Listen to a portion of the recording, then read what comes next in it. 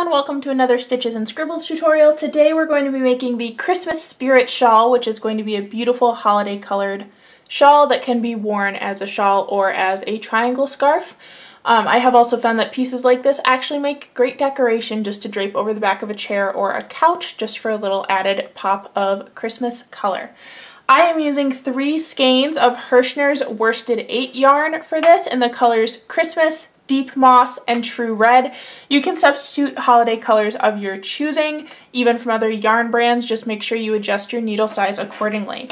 With this yarn, which is a normal DK weight yarn, I am using 7 millimeter circular needles. Let's go ahead and get started. You're going to start with a slip knot as always and cast on two stitches to your circular needles. So one and two. We're going to start with eight setup rows before we jump into our repeats. So row one, you're going to knit both stitches. Row two, you're also going to knit two stitches.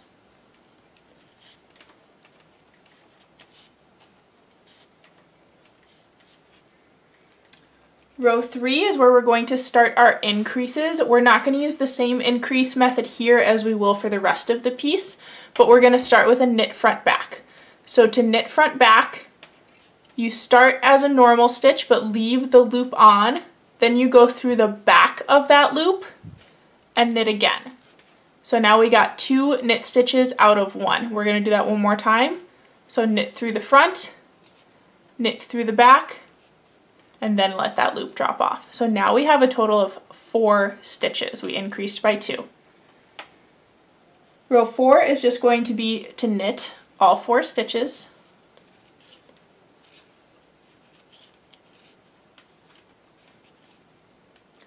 Row five, we're going to do another increase row. So we're going to knit one, knit front back twice, so front, back, front, back, and then knit one. And row six is to knit all the way across, and we should now have a total of six stitches.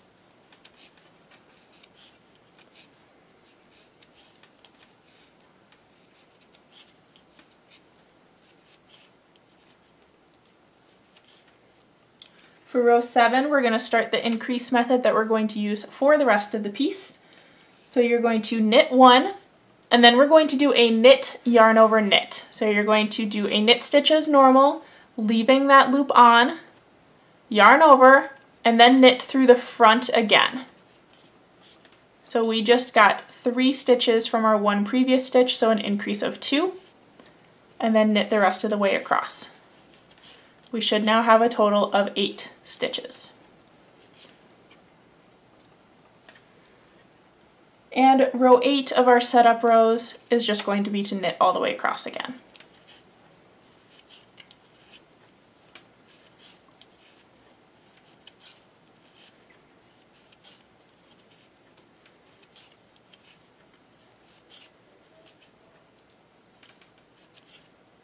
You should have a little triangle that looks like that.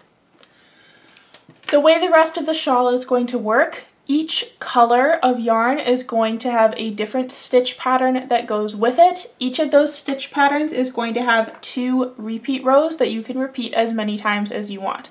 For the purposes of this tutorial, I'm going to be doing two sets of each repeat, so four rows in each color before I move on to the next color. You can vary the width and the width of these rows, you can vary the color pattern. I'm just going to do multicolored green, red, and keep repeating that for the purpose of the tutorial, although I may do some random stripes later on, or even switch up which stitch is in which color. This is totally customizable, so you can do it the way you want. I'm just going to show you how the repeat rows work so that you can make the stripes as you want. I'm going to call this the multicolor repeat pattern. So for your multicolor repeat pattern, row one is going to be to knit one, then do a knit yarn over knit. So knit, yarn over, knit, and then we're going to start our lace pattern. So you're going to yarn over, knit two together, yarn over, knit two together. And you stop that yarn over knit two together pattern when there are two stitches left and then just knit both of them so that we have a nice edge on one side. The second row of the repeat, you're going to knit two, then knit two together, yarn over, knit two together, yarn over, knit two together, yarn over, and the last two stitches you're just going to knit. And I'll show you that one more time to get the four repeat rows for the multicolor. Row one, you're going to knit one and then knit yarn over knit, so knit, yarn over, knit. Then we're going to start our yarn over, knit two together pattern until there are two stitches left. So yarn over, knit two together, yarn over, knit two together, yarn over, knit two together, and now we have two left, so I'm just going to knit those two.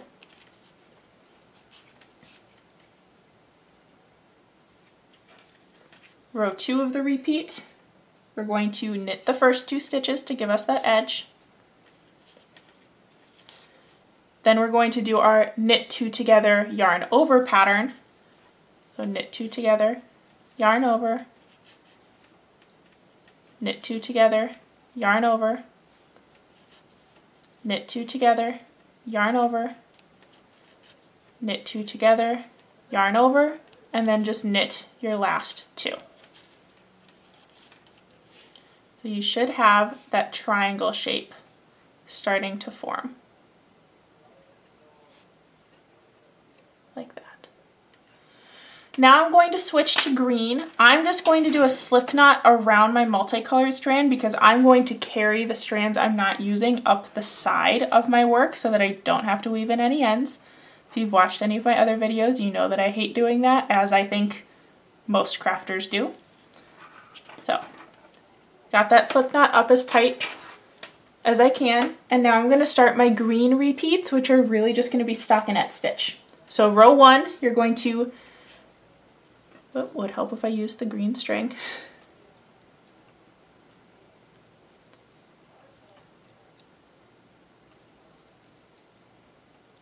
Okay, got it. Row one, you're going to knit one, and then do a knit yarn over knit just like we've been doing before so knit yarn over knit then you're going to knit all the way across. We're not going to stop with two at the end this time. Just knit all the way across.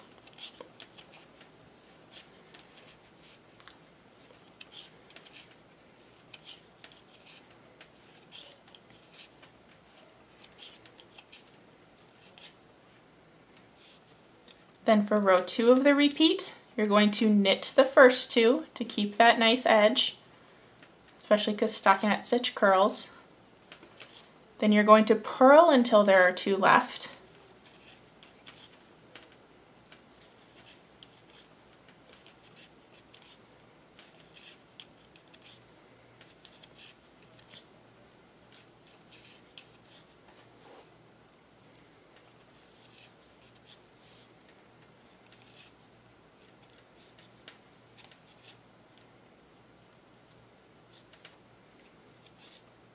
And then you're going to knit two.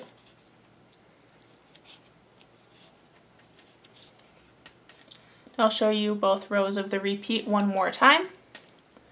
So row one of the green repeat, you're going to knit one, and then knit yarn over knit. So knit, yarn over, and knit, and then knit all the way across.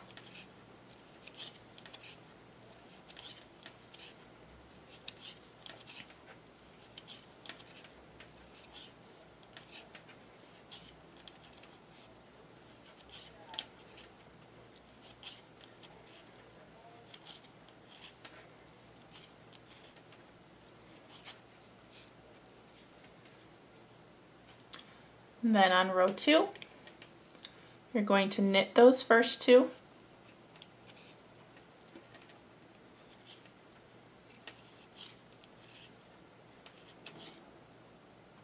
Then purl until there's two left.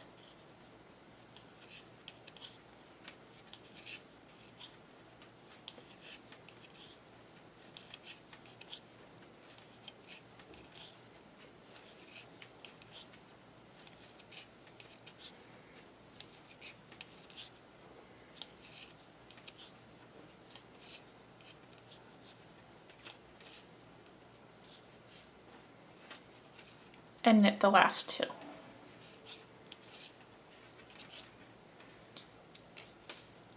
Here's a little bit more of that shape. The edge with the knit yarn over knits will curve a little bit. That's just part of the pattern design. So it'll be a little bit of a curved triangle instead of a straight one. Now we're gonna tie on our red. And when I do that, I'm actually gonna do the slip knot around both of my previous colors just to tie it on, but keep both the multicolored and the green nice and tight.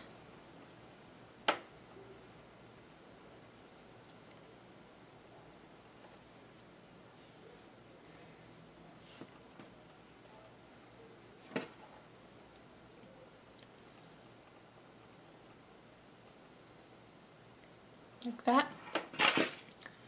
And you can also kind of wind your yarn together every time you're on this side of the piece to keep it even more together, which I will demonstrate in the next row. So for your red rows, we're going to be doing a moss stitch repeat. So you're going to start with your knit one and knit yarn over knit, just like always. Then we're going to start a knit one, purl one pattern, and we're going to repeat that until the last two and then just knit the last two. So knit one, purl one, knit one, purl one, all the way down.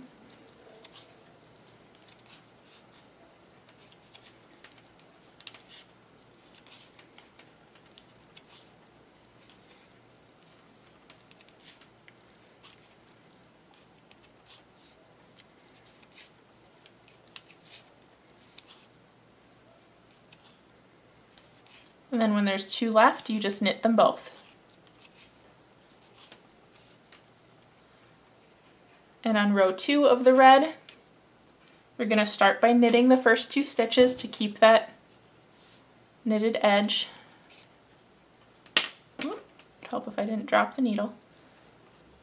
So one, two, and then we're going to start a purl one, knit one pattern so that we get the moss stitch. So purl one, knit one, purl one, knit one, purl one, knit one until there are two left.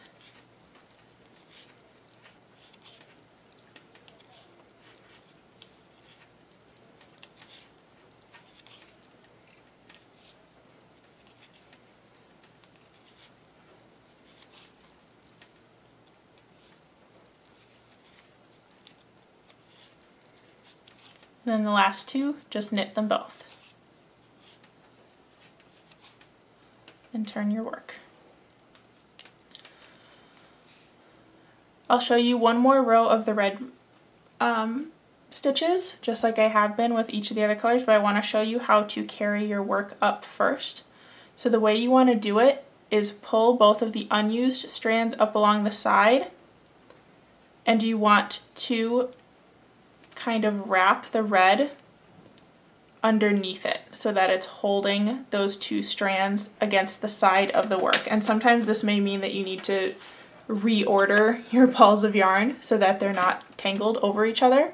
But now that we have the red yarn looped around the multicolored and the green, it's going to keep that in place. So one more round of the repeat, you're going to knit one, and then do your knit yarn over knit, knit, yarn over, knit, and then you're going to start your knit one, purl one pattern. So knit one, purl one, knit one, purl one until there's two left,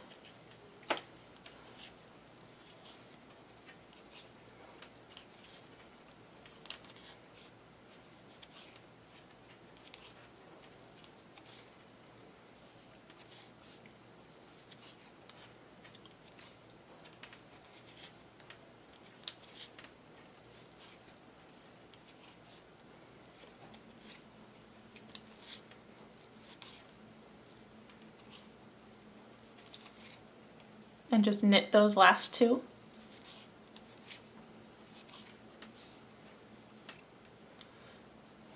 And row two of the repeat, you're going to knit those first two stitches again.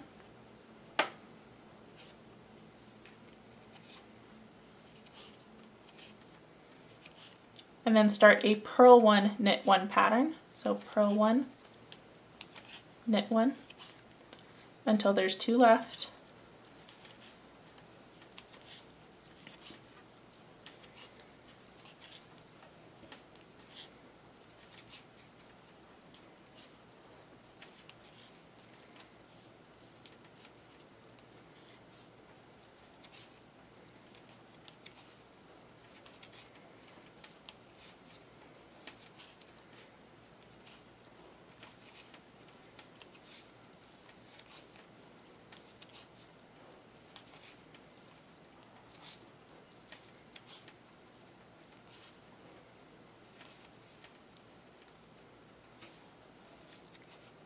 And then just knit those last two.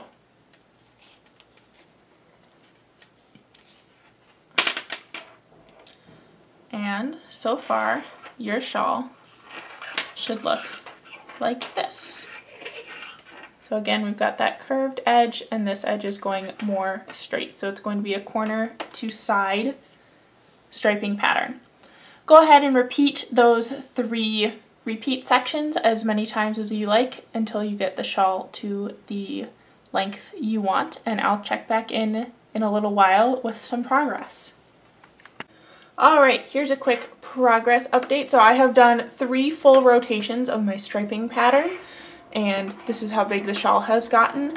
I'm actually going to adapt my pattern um, because I want the stripes to get wider as the piece goes. So since I did three full patterns with four rows of each color, I'm now going to do three repeats of the pattern with six rows per color and then eight rows and so on until I reach my desired length just because I want those um, color stripes to get wider and wider as I go. But you could continue doing the same pattern as me. You could go back and forth with number of stitches. You could do really huge sections in each color. It's completely up to you. I just wanted to get some wider sections of those beautiful colors. Alright, so I have finished up the body of my shawl. As you can see, it did get quite large. The last um, few sections I did were rows of six stitches. It would help if it was facing the right way. So I had my last three sets of repeat were sets of eight stitches, which is why those stripes got wider towards the end, and I finished with my normal bind off. The last thing I'm going to do before being done with the shawl is doing a row of single crochet along the curved part that goes up against your neck and this is mostly just to hide the few tails that you would have to weave in. You can see as my stripes got longer I stopped carrying the yarn up the side because it was just getting very tangled. Um, but I'm going to do a row of single crochet along that edge just to kind of give it a cleaner, neater finish. So for that I'm actually going to use the multicolored yarn and a crochet hook. I'm using a six millimeter hook. So I'm going to start with a slip knot.